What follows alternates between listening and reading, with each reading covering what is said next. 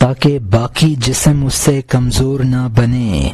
अगर चाहे वो तेरा था, तू उससे बेजार हो जा। अर्ज़ किया तेरी जात के गैर से मैं बेजार हूँ। मैं तुझ में फना हो गया, वो गैर ना होगा। तू जानता है कि मेरा तुझसे क्या ताल्लुक है। इससे बीस गुना है जो चमन को बारिश से है।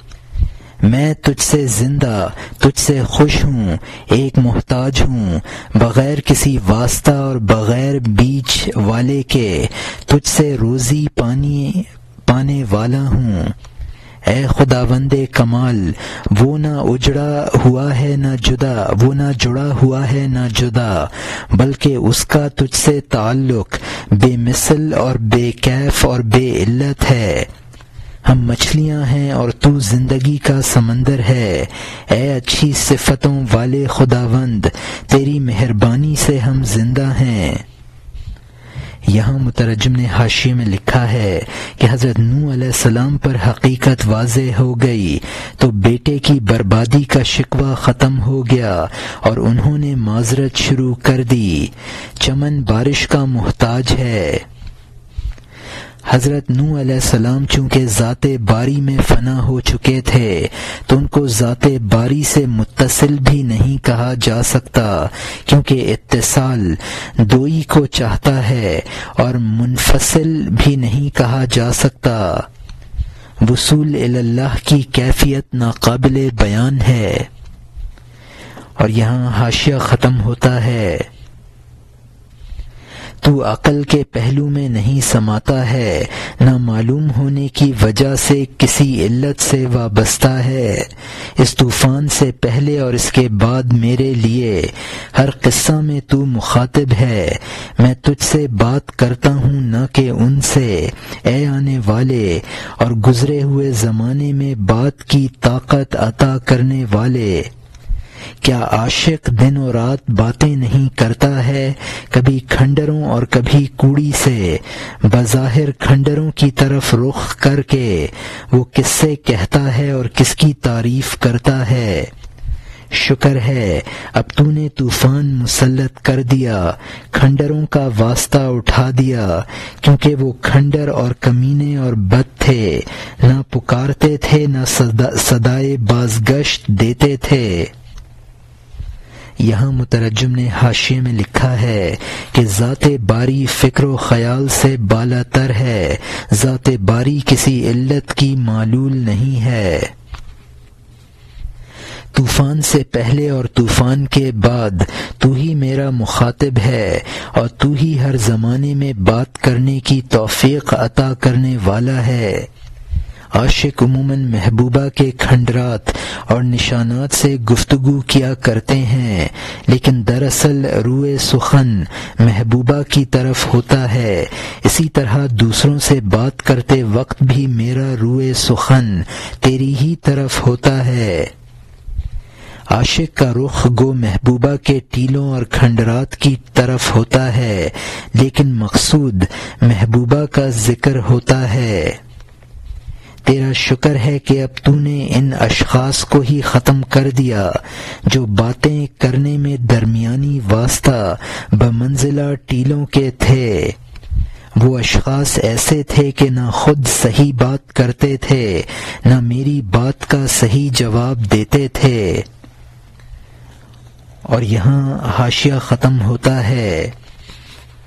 मैं खिताब के लिए ऐसे खंडर चाहता हूँ, जो पहाड़ की तरह सदाए बाजगश से जवाब दें, ताकि मैं तेरा नाम मुकर्र सुनूं।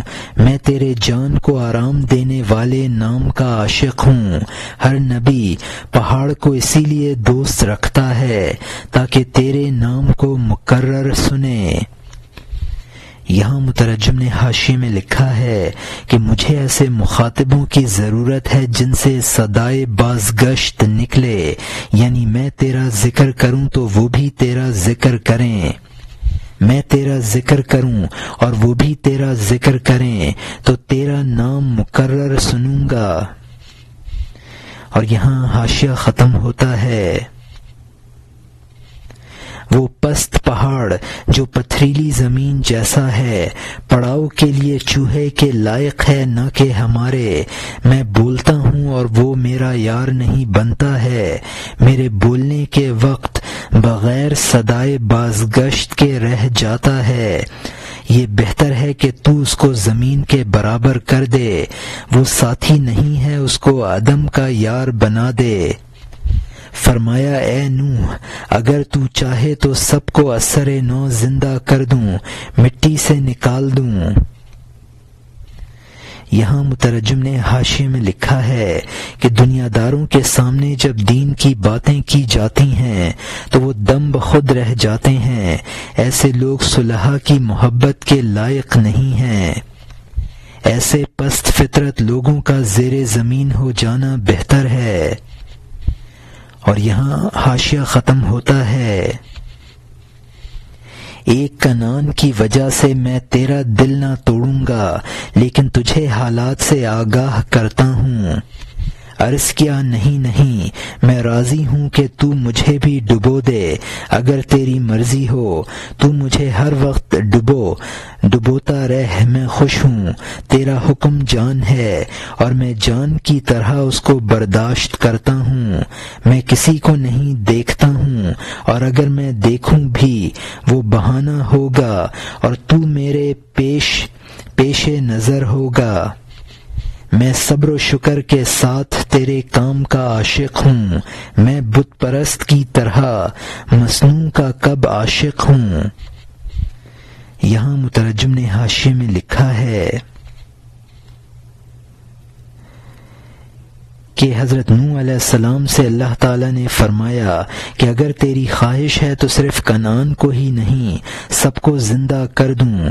अल्लाह ताला ने हज़रत नू सलाम से फरमाया, तेरे बेटे कनान के मामले में तेरी दिल शिकनी नहीं करना चाहता हूँ।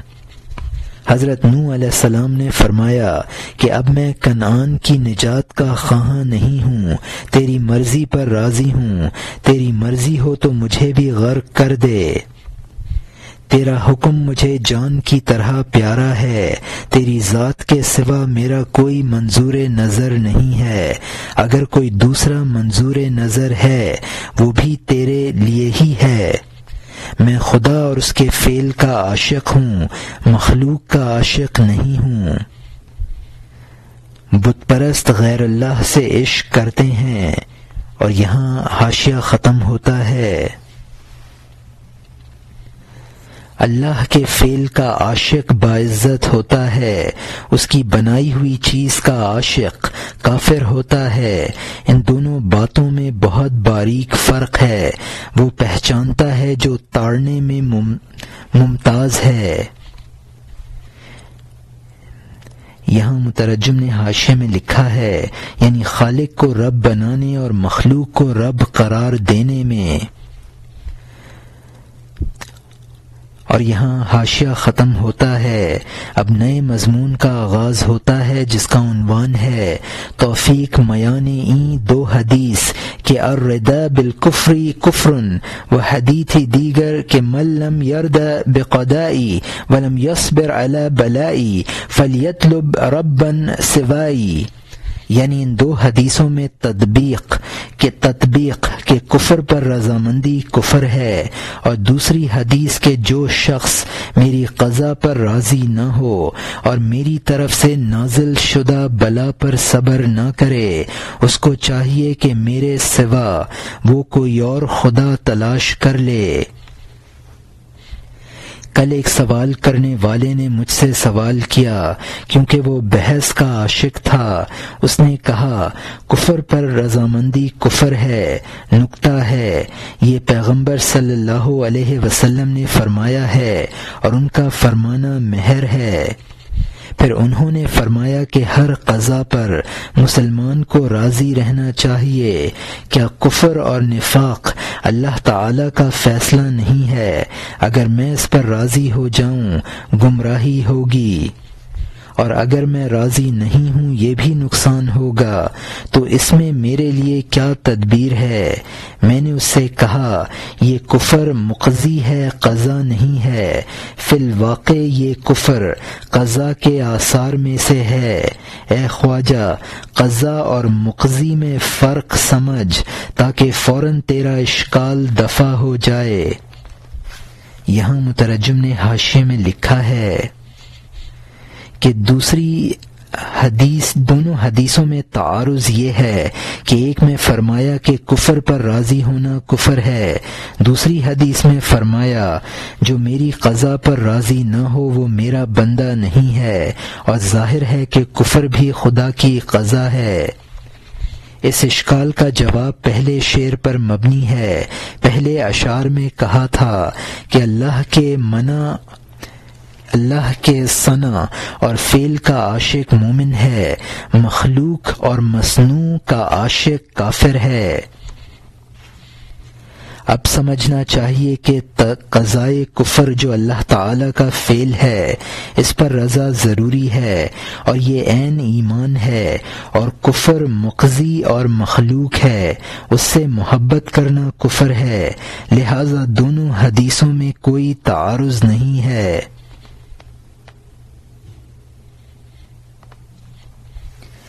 वो सवाल करने वाला बहस व मुबाहिसा का आशिक था। कौल रसूल सल्लल्लाहु अलैहि वसल्लम, मोहब्बत और दलील है। कुफर और निफाक भी अल्लाह की कज़ा है। अगर मैं उस पर राज़ी हो जाऊँ तो गुमराही है।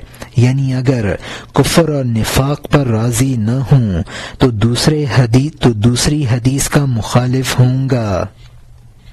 कुफर मखलूक और कज़ाए खुदाबंदी से पैदा शुदा चीज़ है। अल्लाह का फेल और कज़ा नहीं है। कुफर कज़ाए खुदाबंदी का असर है, जो इंसान के कस्ब से इंसान में ज़ाहिर होता है। और यहाँ हाशिया ख़त्म होता है। मैं कुफर पर इस एतबार से राज़ी हूँ कि वो कज़ा है, न कि इस एतबार से कि वो खुदा से झगड़ा और हमारी खबासत है। कज़ा के एतबार से कुफर कुफर नहीं है। अल्लाह ताला को काफिर ना कह, इस जगह ना ठहर। कुफर जहल है और कुफर की कज़ा इल्म है। आखिर बुरदबारी और गुस्सा दोनों एक कब होते हैं? खत का भद्दापन नक्काश की बुराई नहीं है, बल्कि उसकी जानब से भद्देपन की नुमाइश है। ये तो नक्काश की महारत होगी कि वो वो भयानक भी बना सकता है और अच्छा भी। अगर मैं साजो सामान के साथ इस बहस को खोलूं ताकि सवाल और जवाब दराज हो जाए। इश्क का नुक्ता, इश्क के नुक्ते का जौक मुझसे जाता रहेगा और खिदमत का नक्श दूसरा नक्श बन जाएगा। यहाँ मुतरजम ने हाशी में लिखा है कि बहसीत फेले खुदाबंदी के कुफर पर राज़ी होना एन ईमान है और इस हैसियत से कि वो हमारे कस्ब से वकू में आता है, उस पर रजा कुफर है। यहाँ से मौलाना ने इश्काल का दूसरा जवाब देना शुरू फरमाया है, जिसका खुलासा ये है कि कज़ाए कुफर कुफर नहीं है। लिहाजा कज़ाए कुफर पर रजाए कज़ाए कुफर पर रजा, कुफर पर रजा नहीं है। कज़ाए कुफर को अगर कुफर करार दिया जाए तो नऊज बिल्ला खुदा पर काफिर का इतलाक मानना होगा। इसलिए कि कज़ा फेल खुदा बंदी है। अगर वो कुफर हो तो जिस ज़ात से फेल कायम होता है, उस पर फ़ाइल का इतलाक होता है। ये इश्काल का तीसरा जवाब है, जिसका खुलासा ये है कि कज़ाए कुफर और कुफर दोनों जुदागाना चीज़ें हैं। कज़ाए कुफर अस कबीले इल्म है और कुफर अस कबीले जहल है। लिहाजा दोनों हदीसों का मफहूम जुदागाना है। इनमें कोई तारुज नहीं है। कज़ाए कुफर का इल्म होना या तो इस तौर पर है कि कज़ाए खुदाबंदी इल्म खुदाबंदी पर मबनी है, या इस एतबार से कि बंदा के इल्म ही पर यह बात मबनी है कि वो खुदा को खालिक कुफर मानता है और कुफर लामहला सिफात खुदाबंदी से जहल पर मबनी है। इश्काल का चौथा हल ये है कि कुफर बुरी चीज़ है, उस पर रजामंदी कुफर है, लेकिन कज़ाए कुफर और खल के कुफर, अल्लाह के एतबार से सिफत कमाल है। उस पर राज़ी होना कुफर नहीं है, बल्कि एन ईमान है। जैसा कि खुशनवीस एक भद्दी तहरीर पर भी कादिर हो और एक मुसविर भयानक तस्वीर के बनाने पर भी कादिर हो तो वो भद्दी तहरीर और भयानक तस्वीर बुरी चीज़ है। लेकिन उसका लिखना और बनाना खुशनवीस और मुसविर का कमाल है। इल्म कलाम की बहसें ज़ौक़ इश्क के मनाफी हैं। इल्म कलाम की नुक्ता अफरीनियाँ उमूमन अपने इल्मी कमाल को ज़ाहिर करने के लिए करते हैं। और यहाँ हाशिया ख़त्म होता है। अब नए मजमून का आगाज़ होता है, जिसका उनवान है। मिसल दर बयान, आन का हैरत, माने बहस ओ फिक्रत अस्त। यानी इस बयान में एक मिसाल के हैरत, बहस और फ़िक्र से माने है। एक खिचड़ी बालों वाला शख्स तेज़ी से आया। एक भले आईना वाले नाई के पास कहा, मेरी दाढ़ी से सफेदी को हटा दे, क्योंकि ए नौजवान, मैंने नई शादी की है। उसने उसकी दाढ़ी काट दी और उसके सामने रख दी। कहा, तू चुन ले, मुझे काम निकल आया। यहाँ मुतरजम ने हाशिए में लिखा है कि अहले हाल और अहले काल में फ़र्क वाजे करने के लिए यह किस्सा नकल किया है। जिस तरह हजाम फजूल फरमाइश में न लगा, इसी तरह अहले हाल बहस और मुबासा में वक्त ज़ाया नहीं करते हैं। और यहाँ हाशिया ख़त्म होता है। ए बरगुजीदा ये सवाल और ये जवाब है क्योंकि दीनदार शख्स इस किस्म की बातों को ध्यान में नहीं लाता है। एक शख्स ने जैद को तमाचा मारा उसने भी उस पर इंतकाम में हमला कर दिया। तमाचा मारने वाले ने कहा मैं तुझसे एक सवाल करता हूँ उसका ज, मुझे जवाब दे फिर मुझे मार लेना। मैंने तेरी गधी पर मैंने तेरी गद्दी पर मारा तो तड़ाख की आवाज़ आई। उसके मुनासिब यहाँ मेरा एक सवाल है। यहाँ मुतरजम ने हाशिए में लिखा है, यानी ऐसी फजूल फरमाइश का यही जवाब मुनासिब था। इस किस्सा से भी ये ज़ाहिर करना है कि साहिब इश्क तो अपनी लगन में लगा रहता है। फजूल बहसों का उसके पास वक्त नहीं होता, जिसके तमाचा लगा था, वो दर्द में मुबतला था। उसको तमाचा मारने वाले की लघु बहस की फुर्सत कहाँ थी? और यहाँ हाशिया ख़त्म होता है। मैंने तेरी गधी पर मारा तो तड़ाख की आवाज़ आई। उसके मुनासिब यहाँ मेरा एक सवाल है, ये तड़ाख की आवाज़ मेरे हाथ की थी या? ए बुज़ुर्गों के फखर, तेरी गुद्दी की थी। उसने कहा, मुझे उसके दर्द से छुटकारा नहीं है कि मैं इस गौर फ़िक्र में लगूं। तू चूँकि दर्द से खाली है, ये सोच खबरदार, दर्दमंद के लिए गौर व फ़िक्र का वक्त नहीं है। दर्दमंदों को गैर की फ़िक्र नहीं होती है। ख्वा मस्जिद में जाए या बुत खाने में। यहाँ मुतरजम ने हाशिए में लिखा है कि तू चूँकि दर्द से खाली है, इसलिए इस तरह की बहसें तेरे दिमाग में आ रही हैं। हक परस्त हो या बातिल परस्त वो अपनी धुन में लगा रहता है और वो अकली बहसों में नहीं पड़ता है। और यहाँ हाशिया ख़त्म होता है। तेरी गफलत और बेदर्दी सोचने का मौका देती है।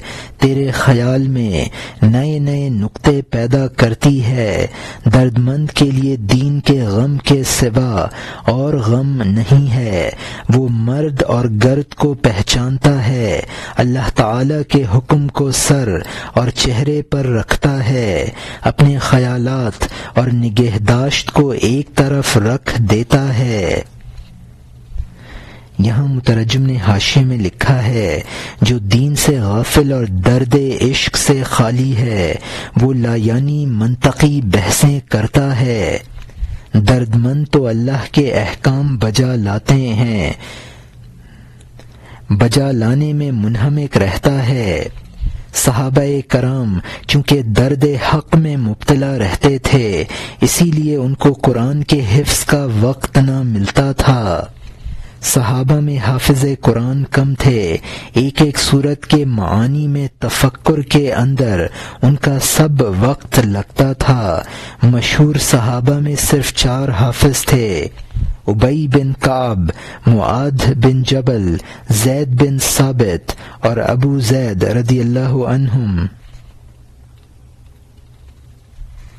यहाँ हाशिया ख़त्म होता है।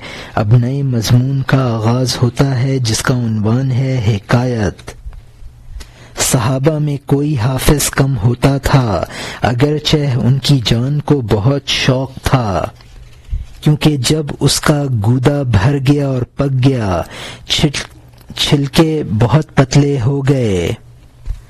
और फट गए। अखरोट और पिस्ता और बादाम का छिलका भी, जब उनमें गूदा भरा, छिलका घटा, इल्म का गूदा बढ़ा तो उसका छिलका घटा, क्योंकि आशिक को उसका माशूक जला देता है। यहाँ मुतरजम ने हाशे में लिखा है कि सहाबा कराम मगज और मानी कुरान से पुर थे। उनके लिए अल्फाज की ज़्यादा अहमियत ना थी। कायदा है जब फल पकने पर आ जाता है और उसमें मगज भर जाता है तो छिलका घट जाता है और रकीक होकर फटने लगता है। और यहाँ हाशिया खत्म होता है। महबूबियत की सिफत मुहबियत की जिद है। वही और नूर की बिजली नबी को जला देने वाली बनी। जब कदीम और साफ़ की तजल्ली पड़ी तो कलीमुल्लाह ने हादिस की सिफत को जला दिया, जिसको चौथाई कुरान हिफ्स था।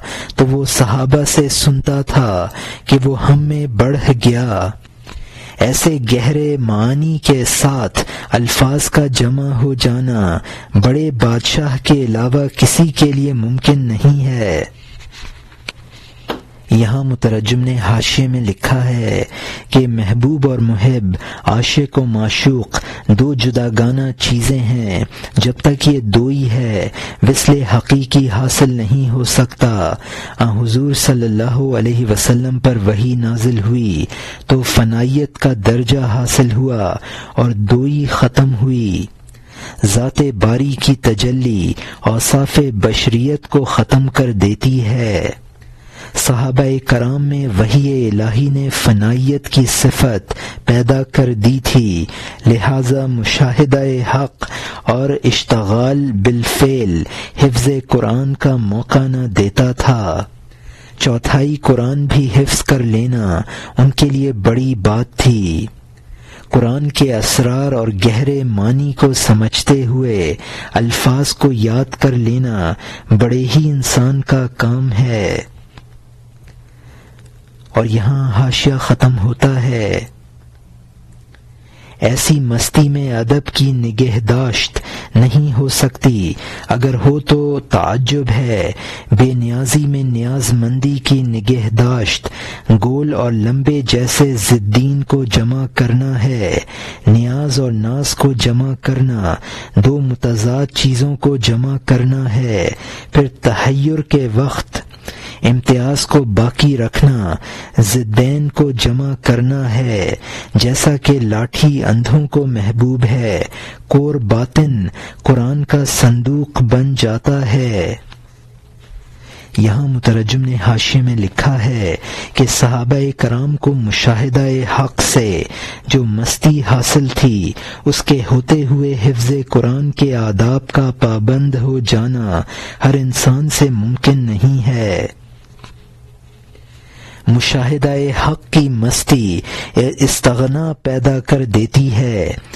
उसके होते हुए न्याजमंदी की निगहदाश्त दो मुतजाद चीज़ों को जमा करना है और ऐसा ही है जैसा कि कोई शख्स गोल और दराज चीज़ को जमा कर ले।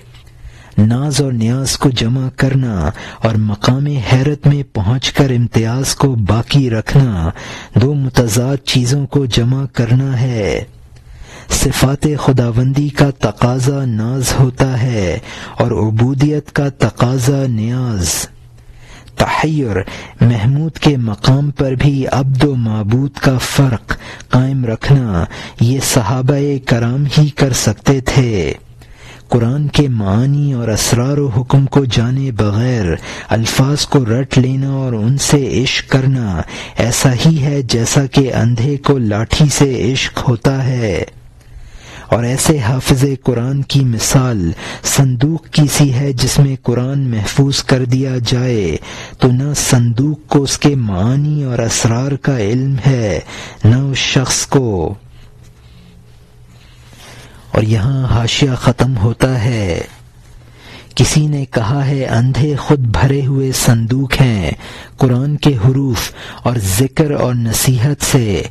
फिर कुरान से भरा हुआ संदूक बेहतर है, इससे कि खाली संदूक हाथ में हो। फिर वो संदूक जो बोझ से खाली है, उस संदूक से बेहतर है जो चूहों और सांपों से भरा हुआ हो। खुलासा ये है कि जब इंसान विसल पर पहुँच जाए तो उस इंसान के लिए रहनुमाई करने वाला बेहकीकत है। ए खूबसूरत, जब तू अपने महबूब तक पहुँच गया तो अब रास्ते की जानकारी की तलब बुरी है। यहाँ मुतरजम ने हाशिए में लिखा है कि कहने वाले ने कहा, जो लोग कुरान के असरार मानी से बेबहरा हैं और सिर्फ़ अल्फाज रटते हैं, वो कुरान के हरूफ और ज़िक्र फ़िक्र की आयतों के पुरशुदा संदूक हैं। जो लोग महज कुरान के अल्फाज के हाफिज हैं, वो भी उनसे बेहतर हैं जो अल्फाज से भी महरूम हैं। वो लोग जिनके सीने कुरान के अल्फाज से भी खाली हैं, उन लोगों से बेहतर हैं जिनके सीने ख्यालात फासदा और बातिल अकायद से भरे हुए हैं। गर्ज ये कि जो लोग वासिल बहक हैं, उनको किसी रहनुमा की ज़रूरत नहीं है। जब मकसूद हासिल हो जाए तो उसका अता पता मालूम करना लघु बात है। और यहाँ हाशिया ख़त्म होता है। जब तू आसमान के बाला खानों पर पहुँच गया तो सीढ़ी की जस्तजू बेवकत हो गई। सिवाय दूसरे की तालीम और मदद के, भलाई हासिल होने के बाद भलाई का रास्ता बेकार है। जो आई, जो रोशन आईना साफ़ और जली हो गया, उसको सीकल पर रखना नादानी होगी। बादशाह के सामने खुश और इज़्ज़त के साथ बैठकर खत और कासिद को तलाश करना बुरा होगा। यहाँ मुतरजम ने हाशिए में लिखा है कि जो शख्स बाला खाना पर पहुँच गया, उसके लिए सीढ़ी को तलाश करना बेकार है। वासिल बहक। अगर अल्लाह से कुर्ब के वसाइल और जराए का ज़िक्र करे तो दूसरों की तालीम के लिए करे। जब आईना खुद साफ़ है तो उसको सीकल करना लघु काम है। जब महबूब तक रसाई हो जाए तो फिर कासिद और नामा व पयाम की जस्तजू बेकार बात है। और यहाँ हाशिया ख़त्म होता है।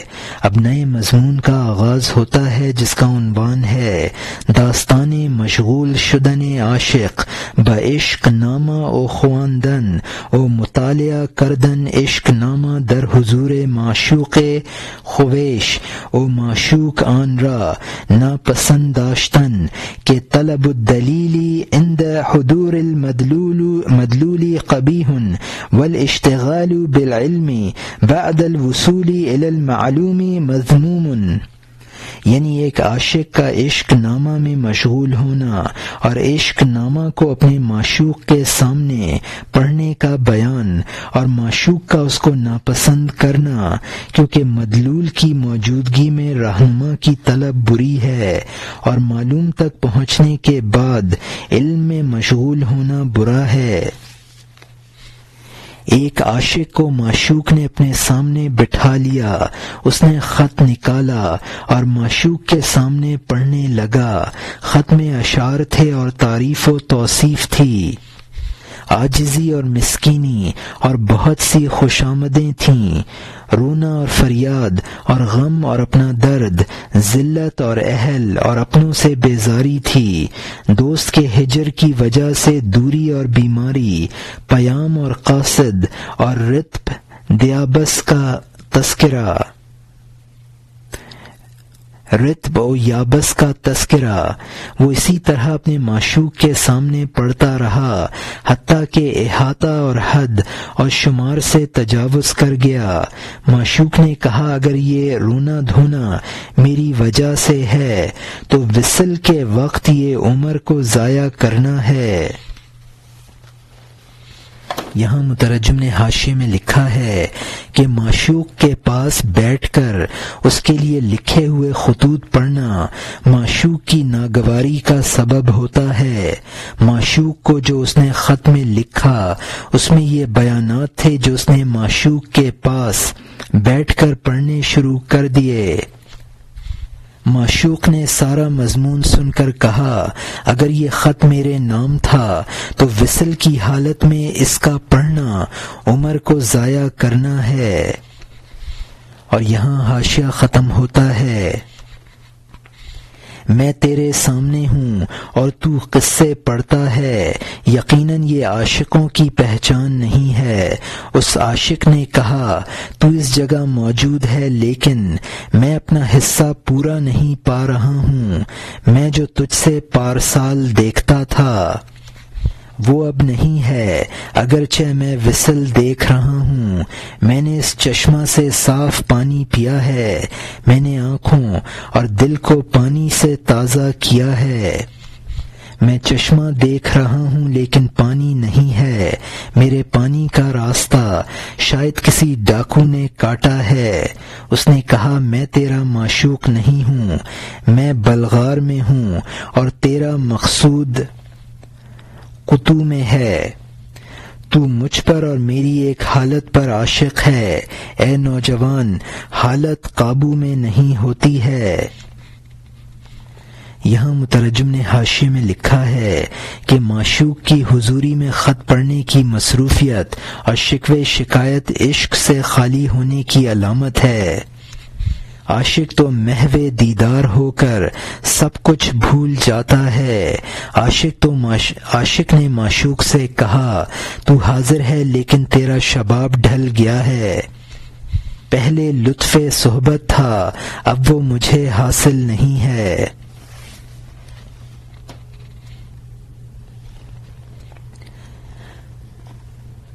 यानी तेरा वो पहला रंगो रूप नहीं है। बलगार शहर और कुतु शहर में बहुत फासला है।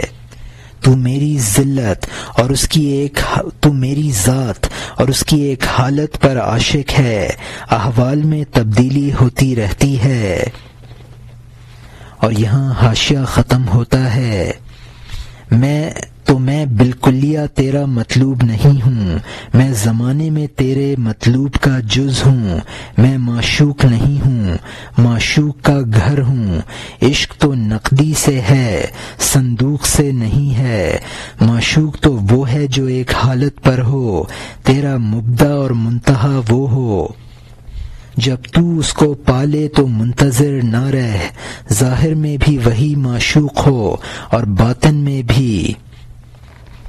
यहाँ मुतरजम ने हाशे में लिखा है, यानी मेरी पूरी ज़ात तेरी माशूक नहीं है, बल्कि मेरी ज़ात तेरे माशूक का जुज है। यानी मैं तेरा माशूक ना हुआ, बल्कि वो जवानी माशूक थी, जो मेरी ज़ात में थी। लिहाजा मैं संदूक था और जवानी उसके अंदर की नकदी की तरह थी। तो इश्क संदूक से नहीं होता, बल्कि नकदी से होता है। ये मौलाना रहमतुल्लाह का मकूला है कि आरजी हुसन और आरजी हुसन माशूक बनाने के काबिल नहीं है। इश्क उसी ज़ात से होना चाहिए जो लाजवाल है। इंसान की इब्तदा भी वही है और मुंतहा भी वही है। अल्लाह यबदउल खल्क थुम्मा युईदुहु थुम्मा इलैहि तुरजाऊन। अल्लाह ही शुरू में पैदा करता है, फिर वही दोबारा पैदा करेगा, फिर तुम उसी के पास लौट कर जाओगे। अल्लाह के विसल के बाद फिर किसी माशूक का मुंतजर ना बन। वही ज़ाहिर है, वही बातिन है। हुआ ज़ाहिर वल बातिन।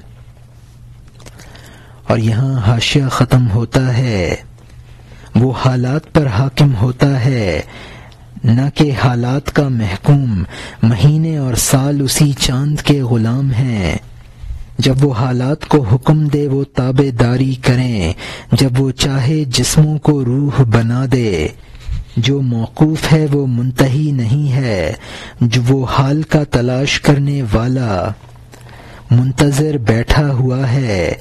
उसका हाथ हाल की कीमिया होता है। जब वो हाथ हिला देता है तो तांबा उससे मस्त हो जाता है। अगर वो चाहे तो मौत भी मीठी हो जाए, कांटा और निश्तर भी नरगिस और नसरीन बन जाए।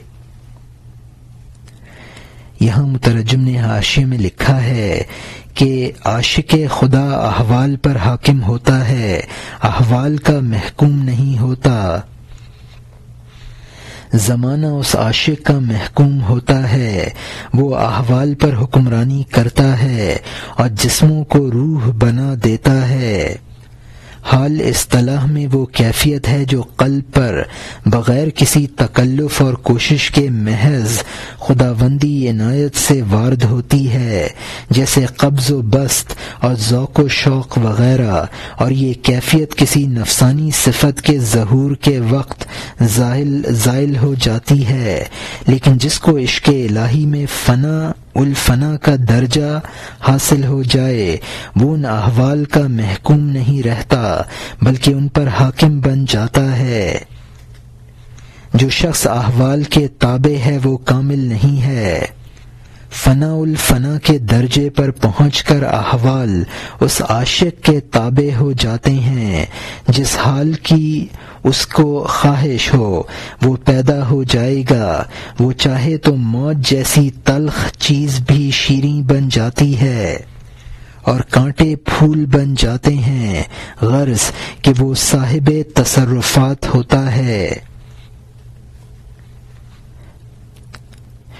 फना उल फना के दर्जे पर पहुंचकर अहवाल पर पूरा काबू हो जाता है। जो अहवाल का महकूम होता है, उसमें कवाए बशरी का गलबा रहता है। उसको कभी उरूज और कभी नजूल की कैफियतों से दो चार होना पड़ता है। और यहाँ हाशिया ख़त्म होता है। वो सलूक में हाल पर हाकिम होता है, तेरी तरह हाल और कशिश से महरूम नहीं होता है। जो हाल का महकूम है, वो सिर्फ़ आदमी है कि कभी बढ़ोतरी में है और कभी कमी में है। और यहाँ हाशिया ख़त्म और कभी कमी में है। सूफी मिसालन इब्नुल वक्त होता है, लेकिन अहले सफ़ा वक्त और हाल से बेनियाज होता है। अहवाल उसके इरादे और राय के ताबे हैं, उसकी मसीह जैसी फूंक से ज़िंदा हैं। तू मेरे हाल का आशिक है, न कि मुझ पर, तू हाल की उम्मीद पर मुझ पर झुका है। यहाँ मुतरजम ने हाशिए में लिखा है कि इब्नुल वक्त वो सूफी कहलाता है जो अहवाल और तजलियात पर काबू ना पा सके और उससे खवारिक और करामात का इस्तरारन जहूर होने लगे। साफी इससे मुराद अबुल वक्त और साहिब मकाम है और ये वो सालिक होता है जिसको अहवाल पर काबू होता है। और उसको रूह और नफ्स पर पूरी कुदरत हासिल होती है। उससे करामात का जहूर नहीं होता है, क्योंकि वो इन बातों को सुन्नतुल्लाह के खिलाफ समझता है। अबुल वक्त को इब्नुल वक्त पर बहुत फोकियत है। अब फिर माशूक के मकूला का मकूला शुरू हुआ। यानी माशूक ने आशिक से कहा, तू मेरी ज़ात का आशिक नहीं है, बल्कि मेरी एक कैफियत और हालत का आशिक है। और यहाँ हाशिया ख़त्म होता है। वो जो कभी नाकस, कभी कामिल हो, वो खलीलुल्लाह का माबूद नहीं है, गुरूब हो जाने वाला है। वान का आफिल बाशुदो गा आ वो नीस्त दिल बर ला उहिब्बुल आफिली। यानी वो जो के गुरूब हो जाने वाला हो, और कभी ऐसा और कभी वैसा, वो माशूक नहीं है। मैं गुरूब कर जाने वालों से मोहब्बत नहीं करता हूँ। ला उहिब्बुल आफिलीन। वो जो कभी खुश और कभी ना खुश है, एक वक्त पानी और एक वक्त आग है, वो चाँद का बुर्ज होगा, लेकिन चाँद नहीं है, वो बुत का नक्श है, लेकिन बाशूर नहीं है। बासफा सूफी, चूँकि इब्नुल वक्त है, वो मजबूती से वक्त को बाप की तरह पकड़े हुए है। सूफी, साफी अल्लाह जलाल के इश्क में गर्क है। वो किसी का इब्न नहीं है, वो औकात और हाल से बेनियाज है। वो उस नूर में गर्क है जो पैदा शुदा नहीं है, न उसने जना, न वो जना गया। अल्लाह ताला की शान है। अगर तू ज़िंदा है, जा, ऐसा इश्क तलाश कर, वरना तू मुख्तलिफ़ औकात का गुलाम है। अपने अच्छे बुरे नक्श को ना देख इश्क को और अपने माशूक को देख। यहाँ मुतरजम ने हाशिए में लिखा है कि जो मुतगैर हो जाने वाली चीज़ है, वो माशूक और मबूद बनाने के काबिल नहीं है। लाहिबुल आफिलीन, हज़रत इब्राहिम ने चाँद और सूरज के बारे में फरमाया था कि मैं इन जवाल पजीर चीज़ों को पसंद नहीं करता हूँ। जिन चीज़ों का हुसन और कमाल जवाल पजीर है, उनको सिफात बारी का सिर्फ़ मजहर समझो, हकीकी महबूब न बनाओ। इब्नुल वक्त सूफी साफी का मतलब है, यानी इब्नुल वक्त साफी, इब्नुल वक्त सालिक। साफी यानी अबुल वक्त साहिब मकाम सालिक। अबुल वक्त तजलियात रब में गर्क रहता है, जो अबदी और दायमी है। लम यजिल और ला यजाल से इश्क कर। इंसान की अपनी ज़ात की अच्छाई और बुराई तलब में माने न आनी चाहिए। उसको हर वक्त इश्क और माशू के हकीकी को पेश नज़र रख कर जदोजहद जारी रखनी चाहिए। और यहाँ हाशिया ख़त्म होता है। ये ख्याल ना कर के तू हकीर है या कमज़ोर। ए भले अपनी हिम्मत को देख, तू जिन हालत में हो, जिस हालत में हो तलब जारी रख। ए खुश खूंटों वाले, हमेशा पानी तलाश कर। क्योंकि तेरे खुश्क होंठ गवाही देते हैं कि वो बिल आखिर चश्मे पर पहुँच जाएँगे। होंठों की खुश्की पानी का एक पयाम है कि यकीनन ये इसतराब तुझे हम तक ले आएगा कि ये तलब बाबरकत हरकत है। हक के रास्ते में ये तलब मवाने को ख़त्म कर देने वाली है। ये तलब तेरे मतलूबों की कुंजी है। ये तलब तेरी कामयाबी के सिपाही और झंडे हैं। ये तलब मुर्ख की तरह चीखने में है और नारा लगा रही है कि सुबह आने वाली है। यहाँ मुतरजम ने हाशिए में लिखा है कि ख्वा तालिब निकम्मा या कमज़ोर हो, वो तलब पैदा कर ले, उसकी कमज़ोरी ही मतलूब तक रहनुमा बन जाएगी।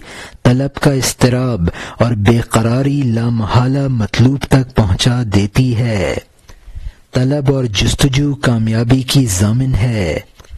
तलब, जिस तरह मुर्ख की अजान, सुबह की आमद की अलामत है, इसी तरह जस्तजू मकसूद तक पहुँचने की अलामत है। और यहाँ हाशिया ख़त्म होता है। ख्वाह वसाइल ना हो, तू तलब कर। अल्लाह के रास्ते में वसाइल की ज़रूरत नहीं है। ए बेटा, तू जिसको तलबगार देखे, उसका दोस्त बन जा और उसके सामने सर रख दे।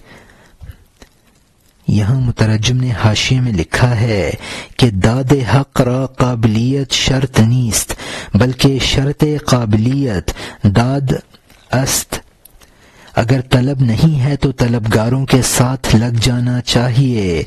मकसूद हासिल हो जाएगा। और यहाँ हाशिया ख़त्म होता है। तलबगारों के कुर्ब से तू तलबगार बन जाएगा, और नफ्स पर गालिब लोगों के साया से तू गालिब बन जाएगा। अगर एक चूंटी सुलेमान की जस्तजू करे तो उसकी जस्तजू को हकारत से ना देख।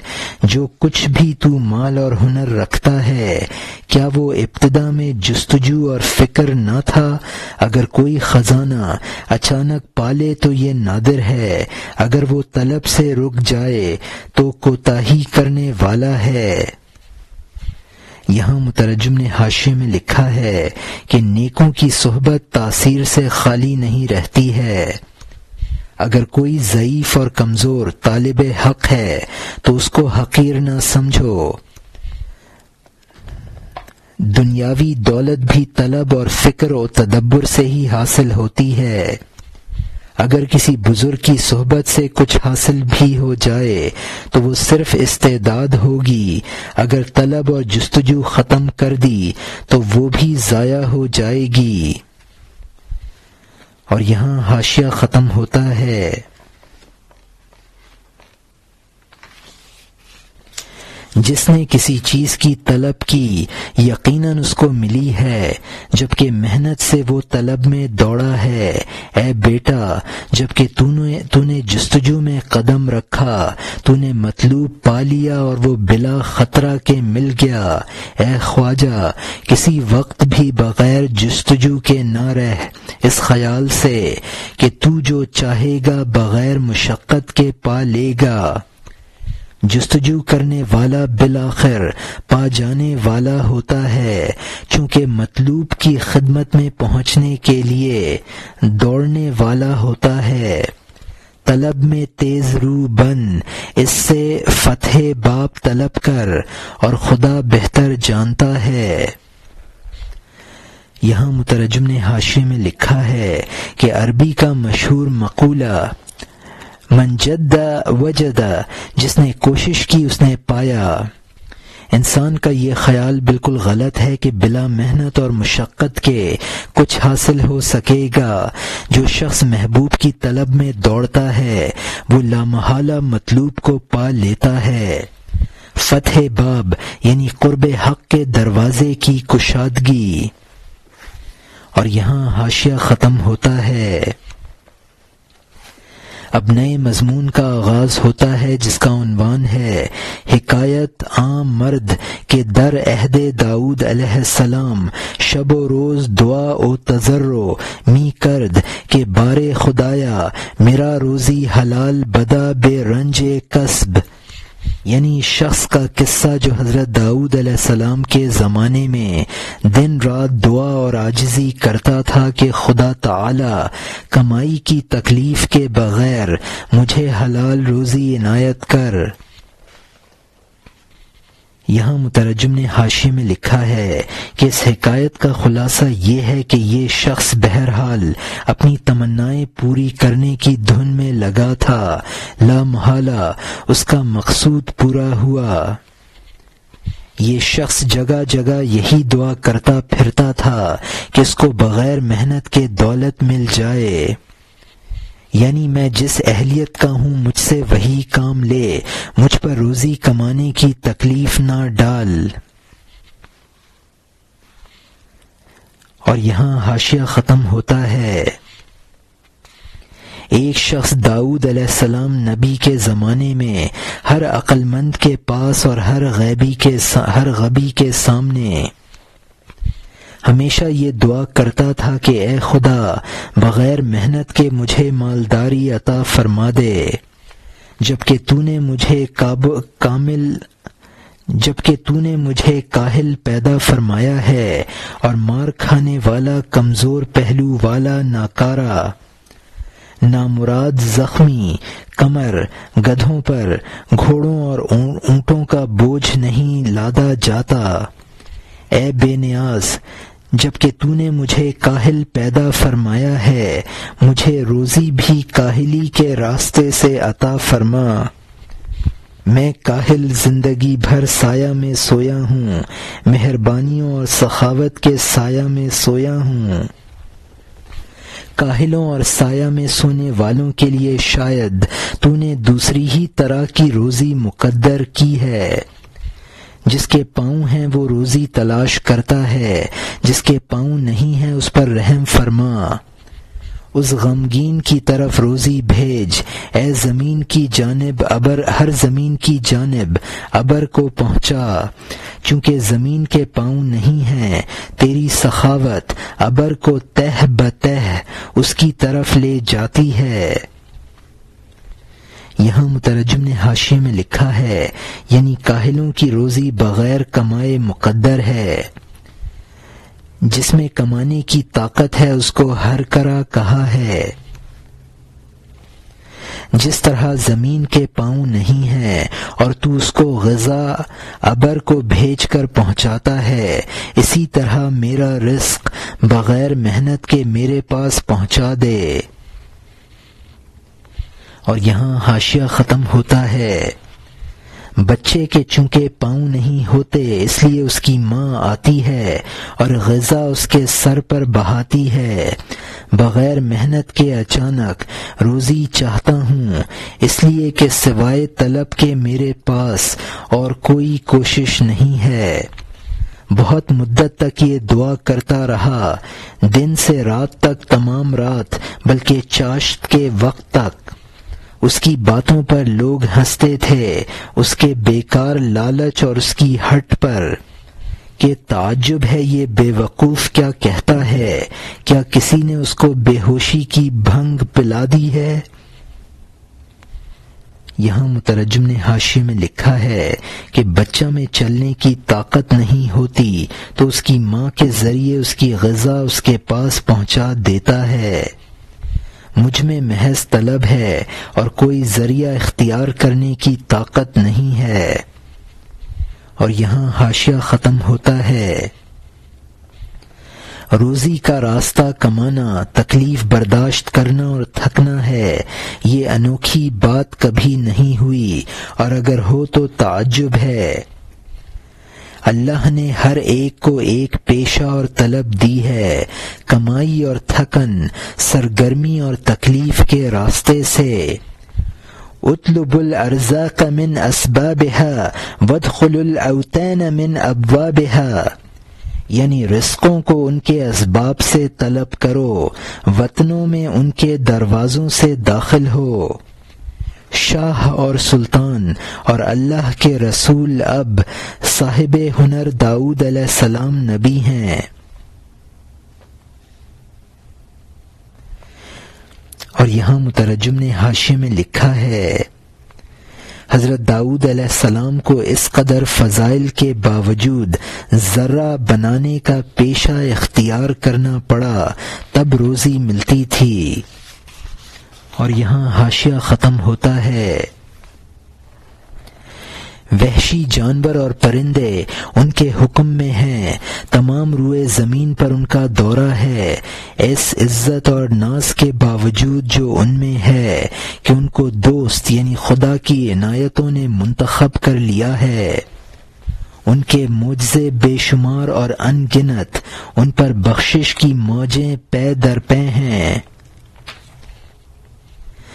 किसी शख्स की आदम सलाम से अब तक आवाज़ अरगनों, यानी बाजा की तरह कब हुई है कि हर वाज में वो दो सौ को मार डालते, इंसान को उनकी हसीन आवाज़ फना कर देती। उस वक्त शेर और हिरन जमा हो जाते, उनके वाज में और ये उससे गाफिल। यहाँ मुतरजम ने हाशी में लिखा है कि हज़रत दाऊद सलाम के नगमे पर चरिंद परिंद जमा हो जाते थे। लहन लहन और नगमा का मुजजा सिर्फ़ हज़रत दाऊद सलाम को मिला था। अरगन मशहूर बाजा है। हज़रत दाऊद सलाम जब वाज में खुश इल्हानी से जुबूर पढ़ते थे। सैकड़ों आदमी वजद में आकर बेहोश और जां बहक हो जाते थे। नगमा को सुनकर शेर और हिरन जमा हो जाते थे और वजद के आलम में एक दूसरे से बेखबर रहता था।